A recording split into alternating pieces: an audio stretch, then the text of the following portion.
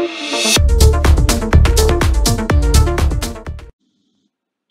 is question 38 from the GATE 2022 EC paper where we are given the following RNC circuit and the locus plot of its impedance as omega is made to go from 0 to infinity and we are asked to find out what R1 and R2 are among these options.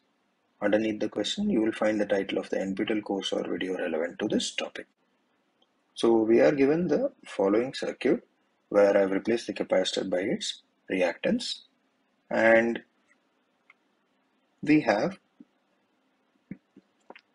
the locus of its impedance that is the impedance looking in as omega is taken from 0 to infinity. So when omega is equal to 0 what will happen? Well this is going to be an open circuit because you put 0 in the denominator so it will become infinity. So what will the looking in impedance be? It will be R1 plus R2 because this is just now an open circuit. So at omega equal to 0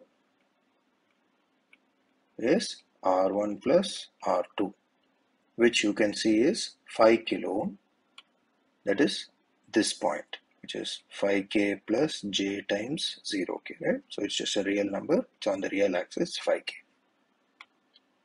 and at omega equal to infinity what you will get that this is just a short because you put infinity in the denominator so 1 over infinity is equal to 0 if this is a short then you can ignore this. So the looking in impedance z of infinity is going to be r1 right? Z of infinity is equal to r1 and from the plot we can say that z of infinity is 2 kilo. So this is equal to 2 kilo.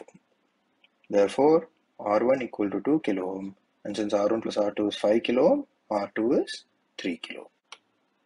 Thus the answer is a